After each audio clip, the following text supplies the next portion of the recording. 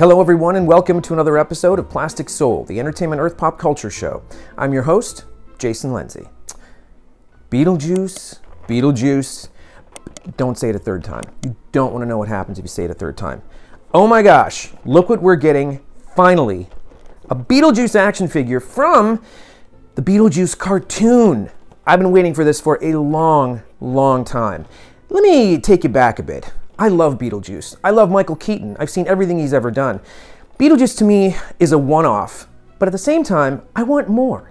We've heard this for so many years that there might be a sequel. Let's do another one. In fact, at one point, before Keaton agreed to do Batman again, they asked him, What's the one character you'd come back and do again? And he said, Beetlejuice.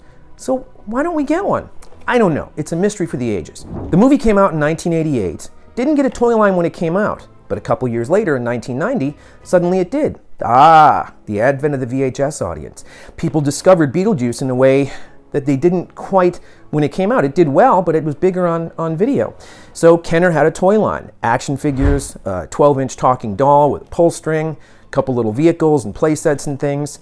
It was cool, but it was a little weird because at the same time, there was an animated series that hit syndication. And it's great. It's available on DVD. You can see the entire series. It's great. The voice acting is great in it. The scripts are weird. There wasn't an action figure line for it when the show was on the air. You had the Beetlejuice line from the movie. Strange, right? The only thing we got at the time, Burger King did a fast food premium of these little tiki sort of statues of the animated characters on one side and the other side kind of monsters or spiders or different weird trippy things that were in the show. Well, now we finally got an action figure of the animated Beetlejuice, and we're going to get a Lydia as well. Beetlejuice comes with a hat, a cane, some accessories, a little creature. Lydia's going to come with some stuff and a little creature. I can't wait. I never thought we'd we'd finally get these. Um, I hope it goes on forever because there's lots of weird characters that show up in the cartoon. And it's beautiful, loads of articulation, great coloring. Anyway, 31 points of articulation. I'm gonna go check it out and see if all 31 actually work. Say it once, say it twice, third time's a charm. The new Beetlejuice action figure based on the animated series. Who'd thunk it? And now you can stand them up next to your Batman the animated series figures and they can talk about what it's like being in syndication and what some of their favorite episodes are. Make an adventure up.